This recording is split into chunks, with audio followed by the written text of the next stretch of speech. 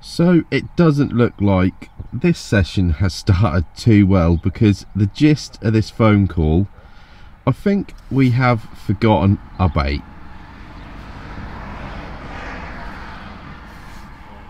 Um, well, yeah, I'll see what I can do. Cheers. Am I right? Did you hear that? Am I right?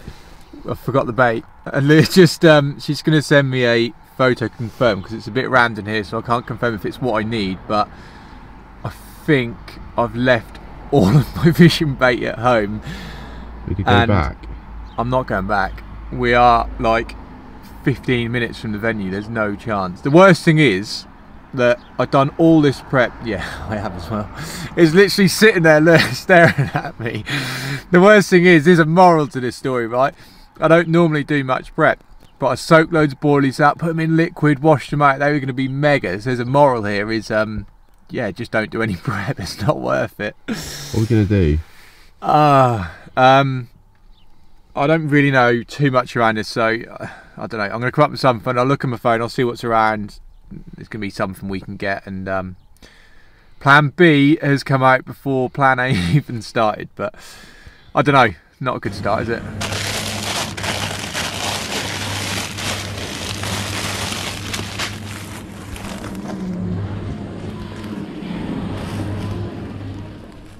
So we've just pulled into the car park and we're at East Delph Lakes, which is the venue for the next 24 hours, hopefully catching a few carp. And it has not been a good start. How you can get your fishing bait, I do not know, but that's just me to a T, I think. So I had a look around and to be honest, I just refused to buy loads of more expensive bait. I'd already prepped it. So the plan B come into action and we went to stop at a Tesco's and I think we all know you could say so many baits from a supermarket and you'd be happy, but there is one that trumps everything, and that is the classic golden grain. Sweet corn has probably caught more carp than anything across the country. So although it wasn't my original plan, I'm still pretty happy and we've got a good chance. So three or four bags of this are coming with me. I'm going to be fairly mobile to start with, see if we can find a few fish and then we'll perhaps set up base camp once we're happy with the area for the evening. So yeah, like I said, not ideal start, but I've not given up by any means. So I'm going to get the gear unloaded, we're going to get round there and see if we can find a few fish.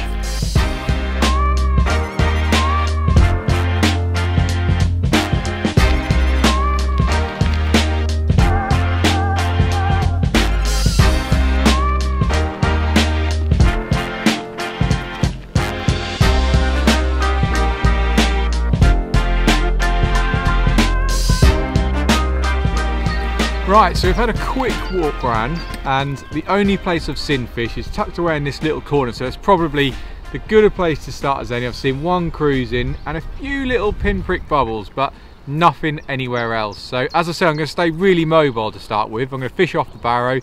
The only thing that'll come off is my alarms and my rods and we'll just keep an eye on the water, see if we can find anything.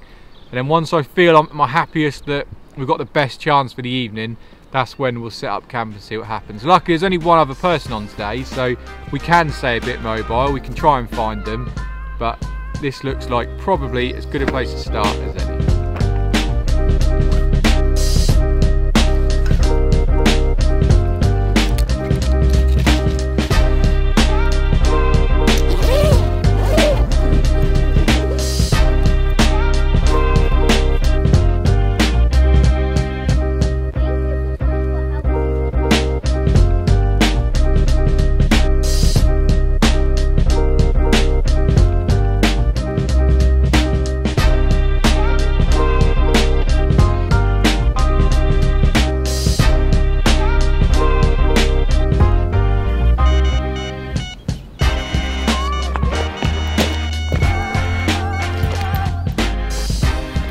Well, the softly, softly approach has worked wonders. We've been fishing for about half an hour and the right hand rod that we literally just flicked over the far side actually went round there, clipped the rig on and a couple of handfuls of bait over it has gone and I'm attached to my first ever East Delph carp. I've never fished here before and yeah, whenever you get a, a bite at a new venue, it's always like the, the legs go and you feel just an extra bit of nervousness when you're playing your first one, but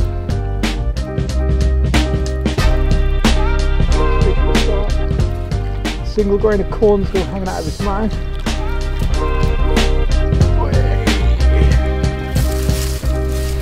Nice. There we go.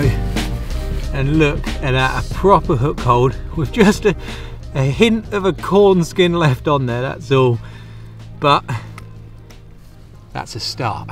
So he's certainly not troubling any records, but for fishing, I'm gonna guess about an hour you cannot go wrong with that. I'm to say he's probably, I don't know, mid to upper doubles and certainly go a lot bigger than this lake. And actually a lot of the pictures I see on social are all these scaly bangers. So I'm not too sure how many commons there actually are in there, but certainly welcome on our day. And my first ever fish from East Delph Lake. So my Virginia has been taken at the venue.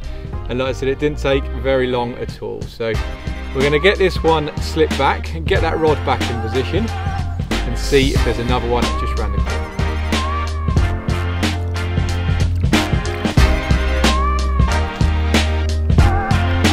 There, mate. Oh, nice! Who needs, Who needs bait?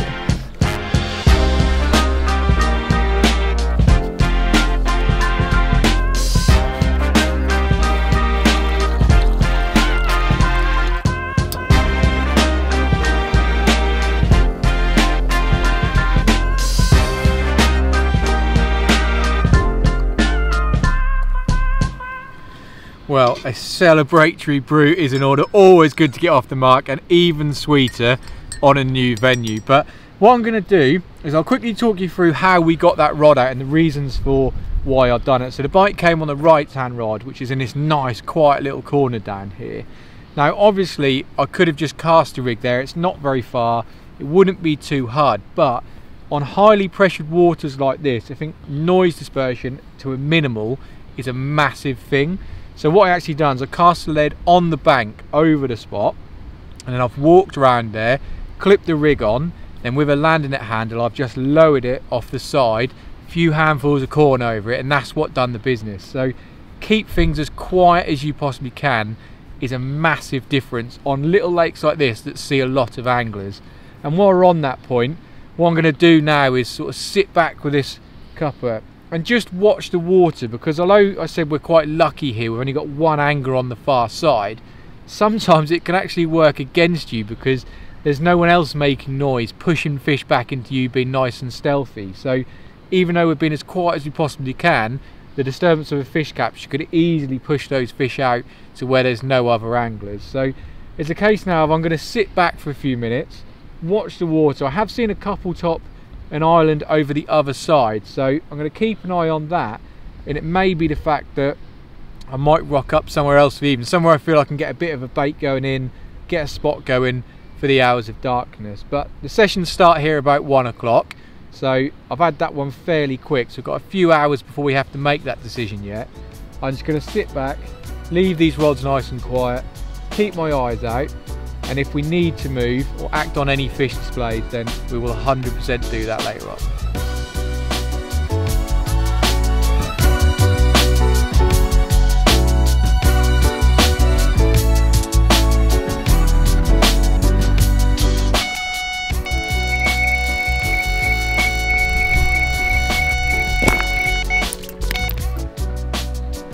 Well, I am glad that I chose to stay put for a moment, almost watching the right hand rod, expecting that could be the one to go. And two in a row pop their heads up over the left hand rod. And it, sometimes in carp fishing, you just know they're going to go. And I said to Chris, there is no way that rod is not going. It's just looks so good. And then 20 minutes later, probably half an hour after finishing that brew, it's absolutely melted off and we attach to another carp. He's trying to beast me down this side here, but if I concentrate on getting him in, that could be two fish before the evening draws in. So let's hope this one plays ball. Boy, really getting down that side. They know where all the snags are. absolutely beasting me. The legs come off. So he's right up in the water going mental.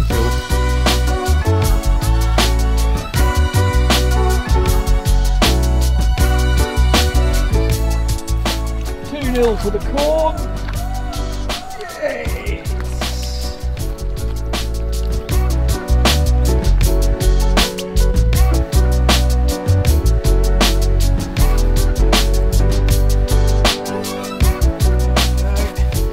He wasn't coming off, that's for sure. No wonder they fight so hard. Look at that for a rudder. Now that is certainly what East Delph is known for. Really pretty fish, lovely scale patterns. Maybe a touch bigger. I don't think he's going to make the 20 pound. I'm not going to weigh him, but you know he's getting towards high doubles, maybe scraper 20s. But sounds funny here. This we don't do too much carp fishing. The fish that I said I see come over the spot had a massive tail, and you know if I was going to say is it this fish, I genuinely would. I think it's shown over the spot couldn't resist whipping his head down and having a little feed on those grains of corn. So mega, mega happy with that. I'm still not 100% convinced if I'm going to stay here. Two fish is kind of leaning me towards possibly, but uh, I'm not a million percent sure yet. So what I'll do is we'll get this one slipped back and then we'll talk to you through the rigs that we've used to catch the two so far and then we'll make that decision what's going to happen for the evening.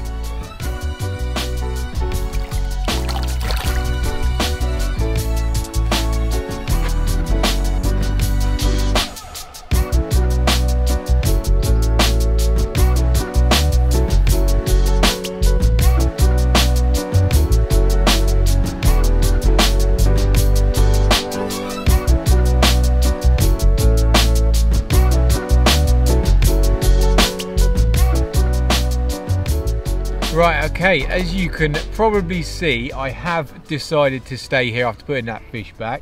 The rods are back on the spot and we've got the bivvy up as well. Just because something sticks to me forever when I was told I was really young when I started fishing. Someone said to me, never move off feeding fish. And that saying has really stuck with me. So I've caught fish on both rods, two spots potentially that could do another bite. And I have seen fish in the area. So although I've seen a few elsewhere, I'm just a bit reluctant at the moment to see or move until we see something really happen. So this is going to be perhaps my location for the evening. And what I'm doing is just getting prepared for that. So I'm just tying a couple of rigs up. So it's a great opportunity to show you exactly what we're using. Now we got dealt the hand of fishing corn after forgetting my bait and I like to keep things really simple. Now we're not allowed foam or we're not allowed plastic baits in here. So that made it even more simple. And I've just gone with a short braided hair rig, which is Coretex tungsten, and I've knotless knotted a size 5 curved shank, and on there I'm hair rigging with a little bait stop, three grains of corn. Now to finish that, a little blob of putty in the middle to keep it all down, and a tungsten sinker on the end. So it literally probably is as simple as they come, but hey, two fish have slipped up already, and what's to say another one won't slip up before the evening's in. So I think it won't be too long before we order some food. I might move the right hand rod away from the bank in the evening just because I think there might be a morning bite area and I might put a bit of bait out in the middle but we've got a few hours before we have to make that decision so I'm going to get rigs tied up, watch the water, put the kettle on and we'll see as the evening unfolds what happens.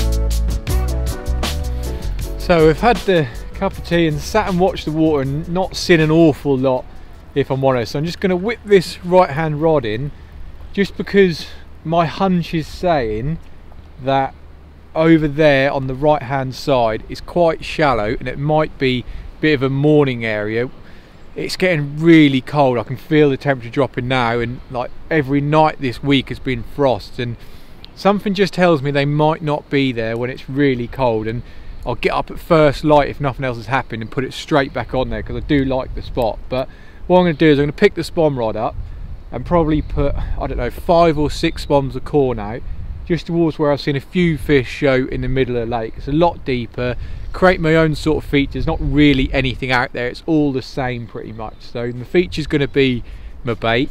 I'm going to get that prepared, get them out there and just get that rod out while we've got a little bit of light left for the evening.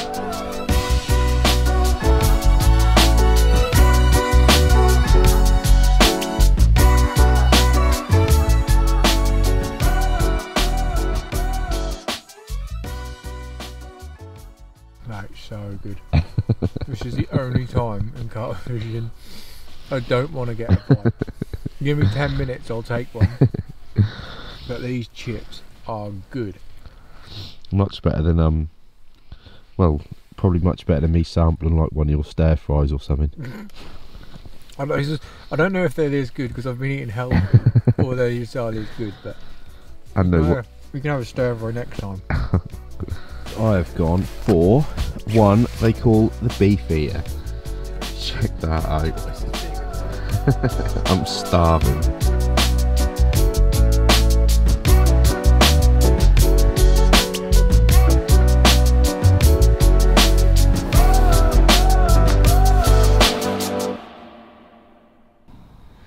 Well, good morning. A pretty uneventful evening. The temperatures absolutely plummeted as they do this time of year. I think the fish really struggle to know what's going on. Daytimes are lovely, mid-teen temperatures, sunshine, and it gets them active. Only for those temperatures to plummet to. It didn't freeze last night, but pretty much freezing. It has done the same. Like last week, it's been those temperatures. So they completely switched off, stopped showing. I've been up since first light and seen absolutely nothing. I have refreshed the rods. The island rod's just been flicked back out with a little bag of corn, and then the right hand rod has been moved back down to the corner because I think there's a chance of a morning bite. But like as I said, literally nothing to go on since first light. So the next group comes on here at sort of midday, so we've got a race to the finish line to see if we can find one. I think what I'll do is I'll I'll give it an hour or two here regardless. If not, I'll move somewhere where I think there could be a fish, even if I don't see one, just to try and spark things off. But certainly, I'm going to keep my eyes really focused on the water. And if I see one, I'm going to be packing down and I'm going to get straight on that to try and nick one before we have to shoot off.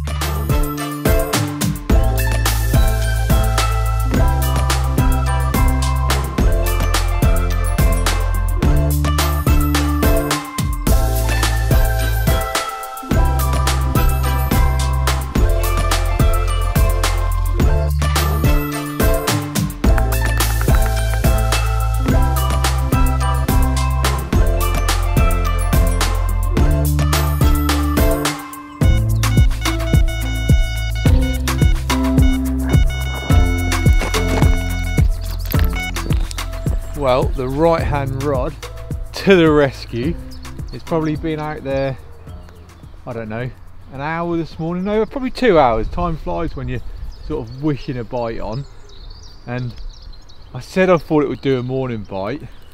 Now, obviously, I hindsight's a wonderful thing. I am wondering if I should have left it out there last night. Would it have done another bite? But you don't know that. I do think it's fairly shallow water and you know the temperature's probably risen eight or nine degrees since last night already so it doesn't surprise me. That's the first bit of water to warm up and we're into a fish. So I'm going to concentrate on getting this one in because he's trying to bully me right under this rock tip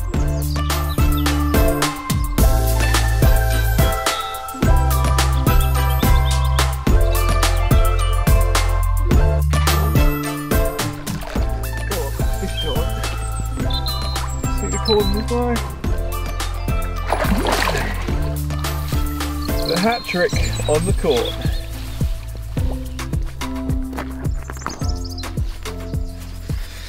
Well, check that out.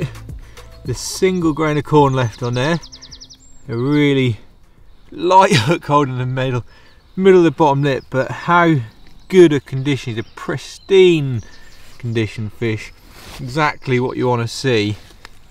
And definitely the biggest one of the trip. what a wicked looking carp and to be in such good condition. It's got a credit to the fishery. Really really good. And well worth that cold night. It did get really cold in there in the bag.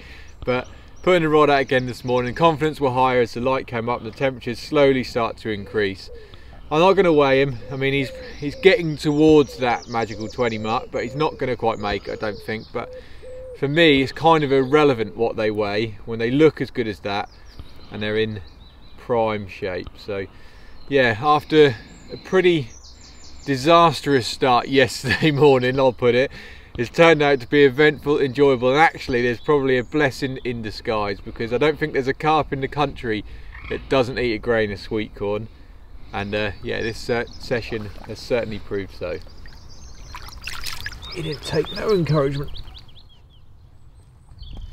so we just flicked the lead back over the far side, clipped on my rig. Now really I should have a baiting pole, the baiting spear, but I didn't bring with me, didn't expect to be doing it. So there's always improvisations to be had. Hook it over the end of the land net handle. Now I can just ship this out right down the edge here. And I'm going to drop it just off the edge.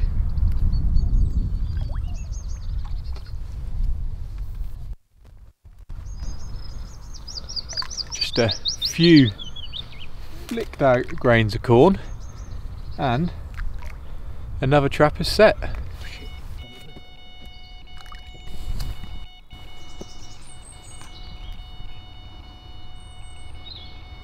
Well, that is ridiculous. I was literally lowered the rigging, put a few pinches of corn in, and I've heard the alarm going.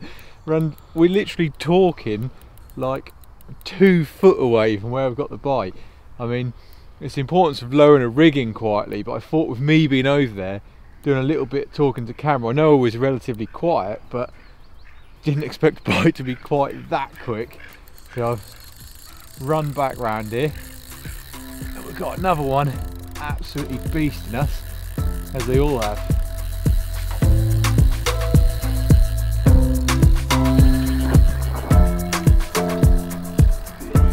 What about that for a run.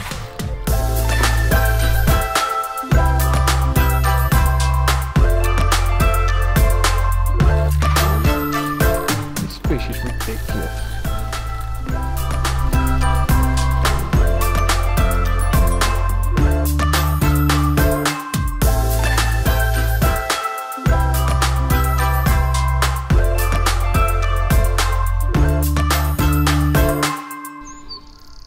Not coming off. What a mega looking fish. Look at that for a tail. Not very often you'll see a carp that looks like that. Well, sometimes you don't need to say too much, just look at the beauty of that fish. It's got so many different features, characteristics, colours, white fins in its tail, and what just a mega mega carp be hard pushed to catch something that looks as good as that for an awful long while. I did pop him on the scales. 23 pounds. So we have had one confirmed over the 20 pound mark but I wouldn't mind if this was eight pound looking like that. It is insane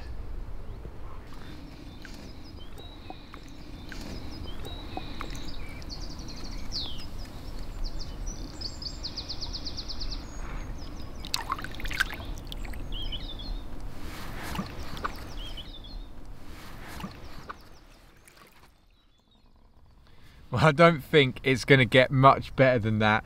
The right hand rod is back on the spot. That one's nice and easy. I've talked you through how we're putting that one out there. But time is ticking away. The sun has burnt off a lot of the morning clouds. It's heating up nicely. And we've got perhaps, I don't know, a couple of hours left. So I'm just going to refresh the left hand rod just for one last time and talk you through just a little thing that what we're doing. Now, obviously I want to get some sort of attraction around my hook bait so I'm just making here a little PVA bag of corn. You probably just seen me there. I've been drying the corn on my leg. Now obviously if you were prepared to fish corn today you would have probably brought a little towel to dry it off with you. That's a good way to do it. Or there's a couple of other ways really. So you could get a, a real oil based or a PVA friendly liquid and mix that in with it. Or finally, salt is really good as well. So salt stops stuff that should melt PVA. So corn obviously is water based. So you put some salt with it and then put that in a PVA bag and it would stop it from dissolving until you cast into lake. Monster lake water mixed with it, then obviously it would melt as normal. So this is the island rod. It's real small little bag. I know this is still going to melt fairly quick, so I'm going to try and get it out there in a little bit of haste. But that's the, the same rig. A tiny little one mouthful bag of corn goes out there as tight as I can physically get it. That one down the right hand side is really tight that we're poling in. So this one is as tight as I can cast it to that island and hopefully there might be one more bite in it yet but what I'm going to do is a slow pack away I think when this rod is out and then we'll see what the last little bit of the session brings.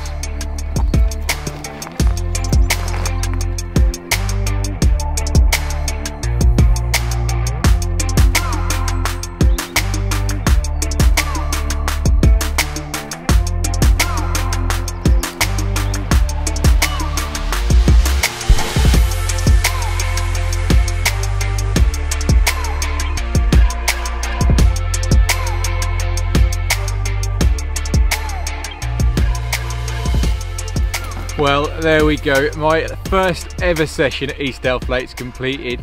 Four mega fish topped off with that really special one at the end. And if it's taught me anything, it's to take sweet corn with me, regardless of where I'm going, what I'm fishing for. It just works every single time. So it's been an absolute dream to fish. Big thanks to James for letting us down here. I'll definitely be coming back. So I'm going to say, obviously, thanks for watching. Don't forget to subscribe. But just before I sign off, something a little different that we'll leave you with. So for those of you who are carp followers into your carp fishing, you probably would have heard of a chap called Dusto who does sort of spray paint artwork, graffiti, whatever you want to call it, to a ridiculously good standard. He's done some of the really sort of famous walls in the tackle industry in the past and he is in the car park spraying one of James's caravans. So I'm going to go and sit and watch him for half an hour and we'll leave you with the footage of his mega artwork underway. But we will see you again on the next one and thanks for watching.